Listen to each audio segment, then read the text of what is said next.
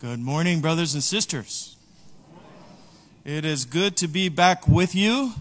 I was away in Bosnia Herzegovina in a very special place called Medjugorje, which means between the hills.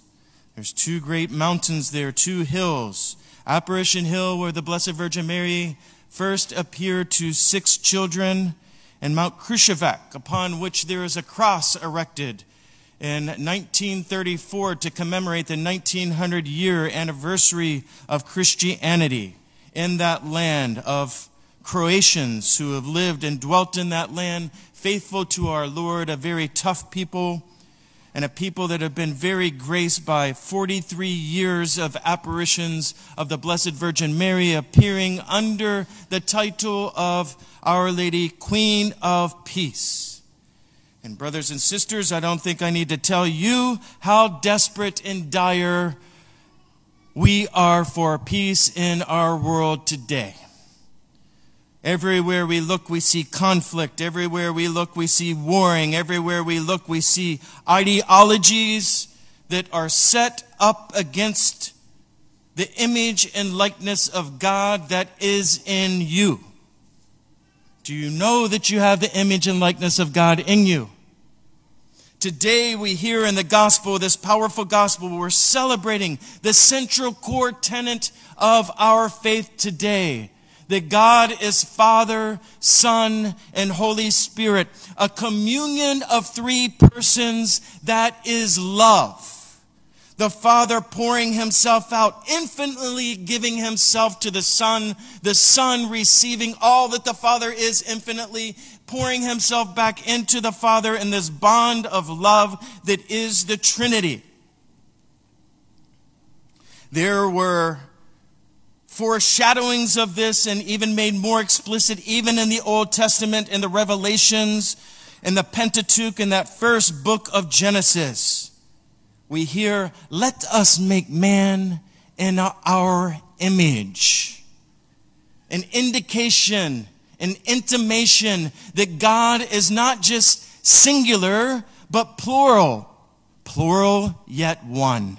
Three persons, infinite in love and majesty and goodness, yet one in nature, one complete nature we would not know who God is in the face of God if it were for not for the second person of the Trinity who took on our nature and became flesh, incarnated amongst us in the womb of the Blessed Virgin, taking on our human nature and uniting it with his divinity. Praise and glory be to God forever. He perfects our nature and then offers it to the Father in his sacrifice upon the cross. And in the resurrection is triumphant over death, our arch enemy of death. Brothers and sisters, are we all going to die? Yeah, most likely, right? most likely. Maybe we will see the second coming, but odds are if we're gambling people, which we really aren't, odds are we're all going to die. The question is, what will you live for? Will you live unto God and for God, or will you live for the world? We just heard last week in the readings of St. James in the weekly readings that if we live for the world and we make ourselves one with the world and the things that the world has to offer, we are at enmity with God. I don't know about you, but I prefer to be at enmity with the world. We're called to live in the world, but not be of the world. We hear in the gospel today, this powerful gospel, Jesus sends his disciples to a mountain that he had designated. The 11 of them, one had betrayed Jesus, Judas had betrayed him.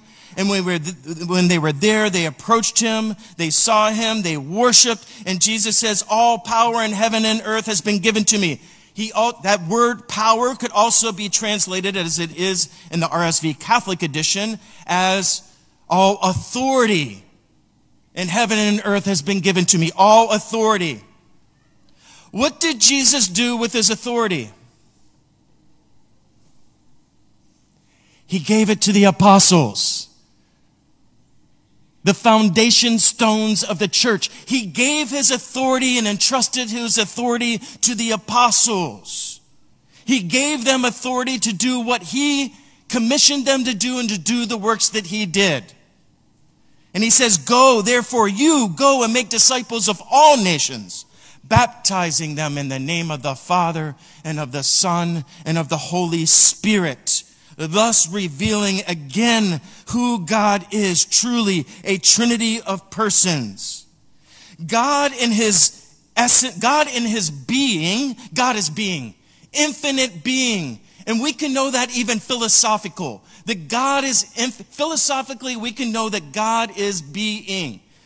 When I was at Franciscan University studying philosophy, we studied in a metaphys- metaphysics class, metaphysics meaning beyond physics, above physics, going beyond what is natural, the natural realm.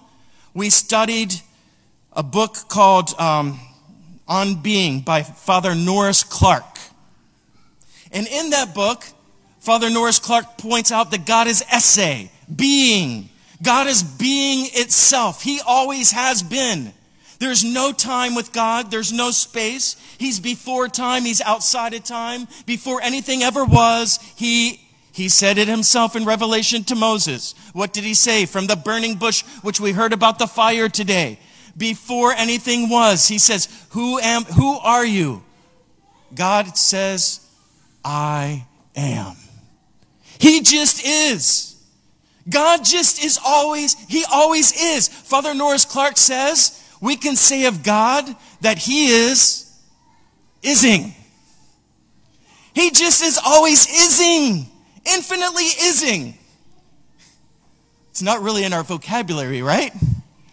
You could just, it's Memorial Day weekend, you can just go around saying, God just is ising. He always is.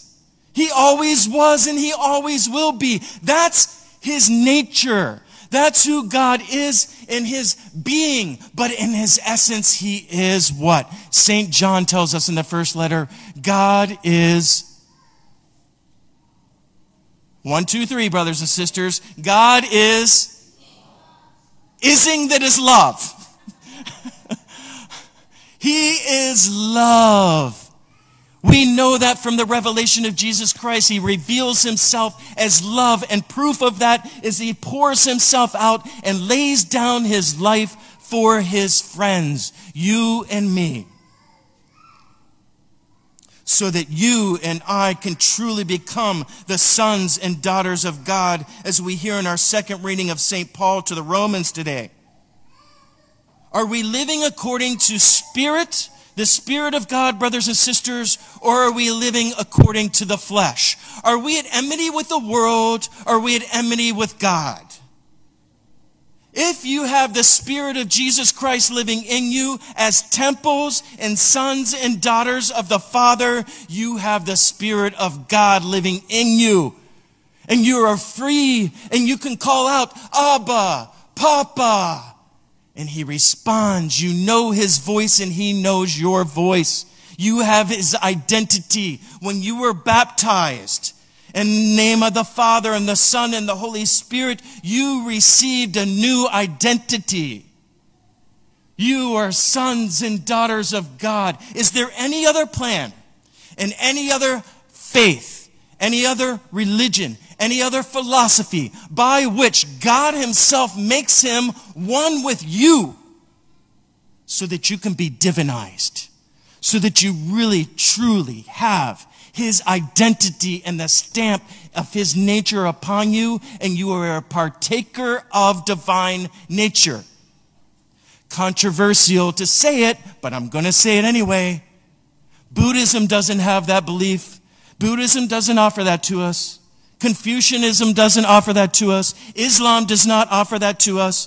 The Greek philosophers do not offer that to us. The Hindu gods do not offer that to us.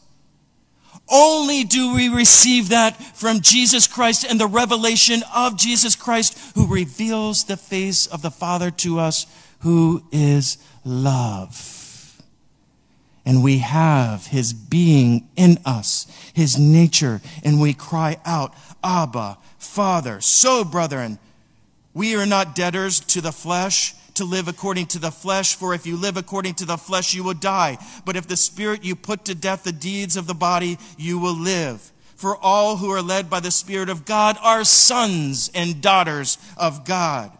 For you did not receive the spirit of slavery to fall back into fear fear. Brothers and sisters, I'm not sure if you're aware of all the tyranny, global tyranny that's in our world right now. There is global tyranny. And we can live in fear, but we were not made for fear. We were made and created to be free, sons and daughters of God. The apostles knew this. The saints knew this. How many of the apostles were martyred? The original 12 apostles.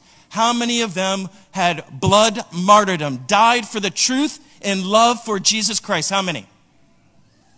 Who said it? Ten. Absolutely right, brother. One betrayed him, Judas.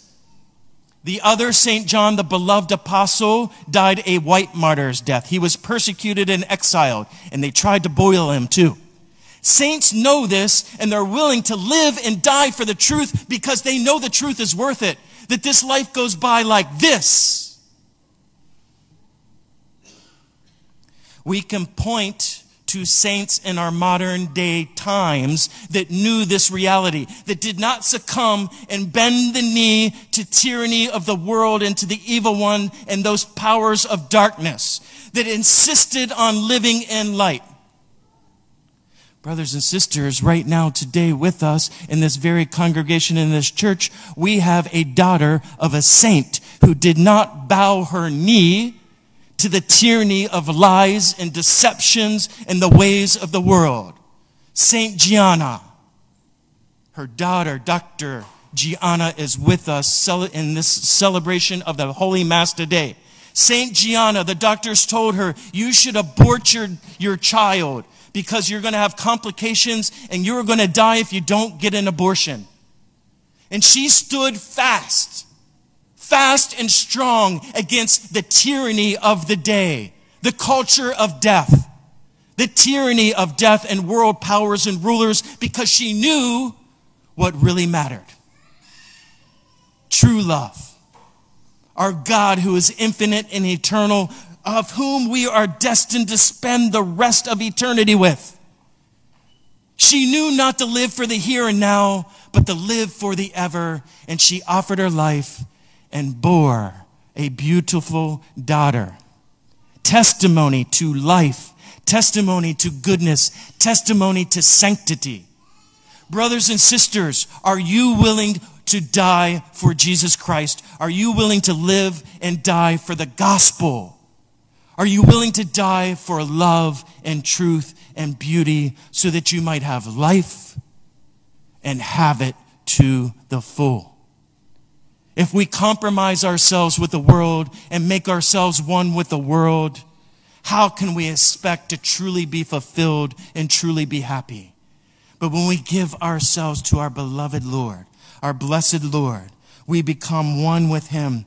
And we hear that spirit, his spirit that is speaking to us, and we truly have the spirit of sonship because it's Christ's sonship that is living in us, and we can cry out, Abba, Papa, Father, Daddy, I believe in you, I trust in you, I know that you have me, I trust in your providence.